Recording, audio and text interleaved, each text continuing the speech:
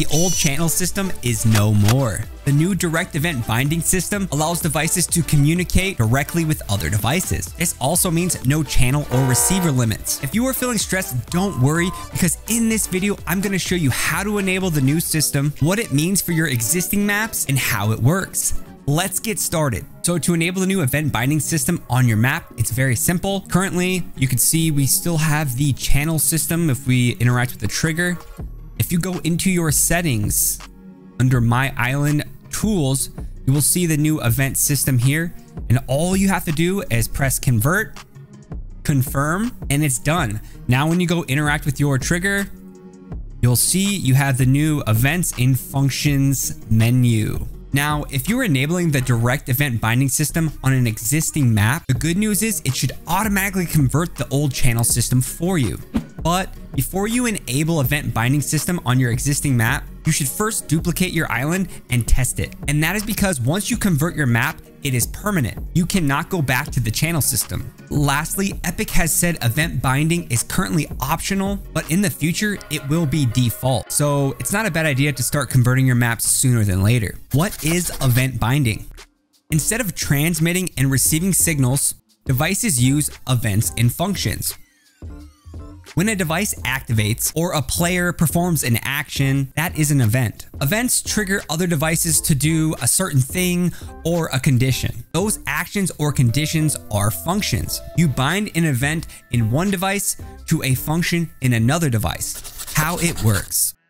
Instead of assigning channels, direct event binding uses device names to specify events and functions that occur between multiple devices. Devices are automatically assigned unique identifiers once placed. Make sure to rename your devices as it will make designing your map much, much easier. Let's build a simple light switch mechanic so you can get a better idea of how this works. So to set it up, you basically just need a trigger button, or I'm going to use the switch device since it has dual functionality. And also we're going to use the customizable light device. You can find it in the customizable light gallery. We are still using the channel system. And so in the old way to turn this light on, you would interact with the switch. You would go over to the channel section and when turned on, we'll just use channel one. And when turned off, we'll just use channel two. And then you would need to go over to your light device and go to the channel section again and turn on from channel one and turn off from channel two. Now, when we interact, it turns it on and when we interact again, it will turn it off. All right, we're just going to create that same turning on a light mechanic, but with the new event binding system. So let's go under My Island Tools and under the event system, let's convert. All right, now let's place down a switch in that customizable light device. All right, now we're just gonna set up the switch so when we turn it on, it turns the light on, and then when we turn it off, it's just gonna turn the light off. So let's interact with the switch. Let's go under the events tab and under the events tab, you're kind of to see a similar looking setting. When this switch turns on, we want it to signal to that light to turn it on. So let's click add. All right, now we need to select that actual device it's to talk to. Okay, let's look. Um, I actually have a lot of devices in here, a lot of customizable lights. I'm not sure which one it is. Um, so this actually brings me up for my next point. It's very crucial that you rename your devices now. This is just going to make your workflow a lot easier and help you, especially with more complex mechanics. So let's go back to this customizable light that we know we want to turn on, interact with it, and in the lower left cog, um, rename it. So I'm just going to put near stage. Okay, perfect. All right, let's go back to our switch, interact with it under the events tab again, let's turn this on. Let's add. Um, let's try to find that customizable light. It's still a huge list. So here's a little hack up top. You can actually click this in search. So I'm going to look for near and there it is. Customizable light near stage. Perfect. That's what I want. All right. Now we actually have to select a function. So we set the event. Now what do we want this to do? So we want this to turn on. All right. Now we need to set up the turn off event.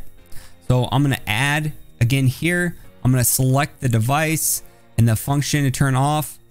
Uh, oh, wait a second. I, I accidentally selected the wrong device. Let me show you how to actually remove it. It's very simple. After you've done this, if you just click it, it's going to bring up another HUD basically saying if you want to delete it and boom, you can delete it and it's done. Um, now we can reselect again. So let's go find that near stage device There it is, perfect. And the function we want for this one is to be turned off. That is great. If we were actually to go over to the near stage light and we click under the functions tab, you're actually gonna see it's already populated from the switch. So it doesn't actually matter which device you set up, it's going to link and it's going to read. So um, let's actually test this out and see if it works. Turns on, turns off. It's very, very simple. All right, now you're maybe thinking, what happens if I like duplicate or copy this device? What happens? Let me show you. This is probably the coolest thing about this. I'm gonna multi-select and make a copy. And if we interact, you're gonna see it actually added the number two to it. And the same for this switch, it's switch number two. So when you actually copy a mechanic, it is smart and it will duplicate it for you and it will disconnect it from the other system instead of previously where it was stayed connected. Let me show you how it works. It works when you turn it off and you turn it on. You turn this one on, turn it off.